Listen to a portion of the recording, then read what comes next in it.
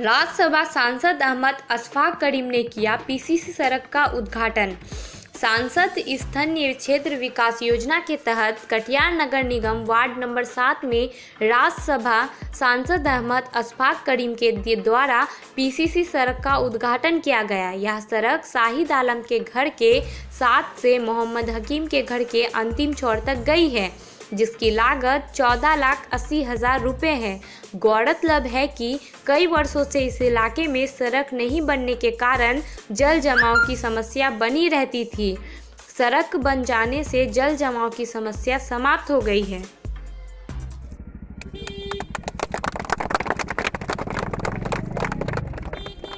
कोष से जो हम लोगों को हर साल मिलता है। उस संसदीय कोष से हमने ये बुद्धूचक ऑफिसर्स कॉलोनी का ये सड़क, जो दयनीय स्थिति थी, यहाँ पर पानी लगता था, कच्ची सड़क थी, उसको फंड देकर बनाने का काम किया है। और जब भी फंड आता है तो मैं कोशिश करता हूँ कि कटिहार को ज़्यादा से ज़्यादा मिले, जबकि हमारा क्षेत्र पूरा बिहार है। हमारा कार्य क्षेत्र पूरा बिहार है। हर राज्यसभा के एम का पूरा राज्य होता है, जो जहाँ के जिस जगह के हैं। हम कोशिश करते हैं मेरी कोशिश होती है कि कटिहार में ज़्यादा से ज़्यादा फंड मिले चूँकि ये पसमादा इलाका है पिछड़ा इलाका है। तो इसकी तरक्की हो। तो तरक्की का सबसे पहली चीज़ होती है इल्म तालीम सड़क कम्युनिकेशन। तो हमने यहाँ सड़क बनाने का काम किया तालीम देने का काम कर रहे हैं।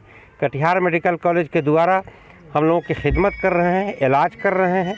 अलकरीम यूनिवर्सिटी के द्वारा मैंने ऐसे कोर्सेज खोले छोटे छोटे कोर्सेज जिससे गरीब भी, कम पूंजी वाले लोग तालीम हासिल कर टेक्निकल तालीम हासिल कर, उनको रोज़गार मिल सके।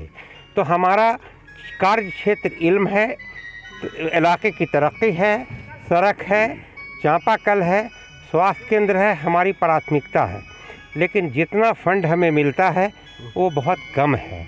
आज के दिन में महँगाई है। सड़क बनाने में हो या भवन बनाने में हो काफ़ी पैसा खर्च होता है। तो जितना हो पाता है, हम इस इलाके के लिए करते हैं, इस पूरे सीमांचल के लिए करते हैं और कटिहार के लिए हमारी कटि, कटिबद्धता है कि कटिहार कैसे तरक्की करेगा।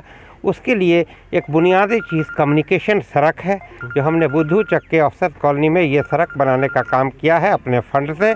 और यहाँ के लोगों के इस्तेमाल के लिए मैं धन्यवाद देता हूँ कि यहाँ के लोगों को कि हमेशा उनका सहयोग हमारे प्रति रहा है और हम उनसे दुआ की दरख्वास्त करते हैं कि हमारे लिए दुआ करते रहें ताकि आगे हम आपकी सेवा करते रहें।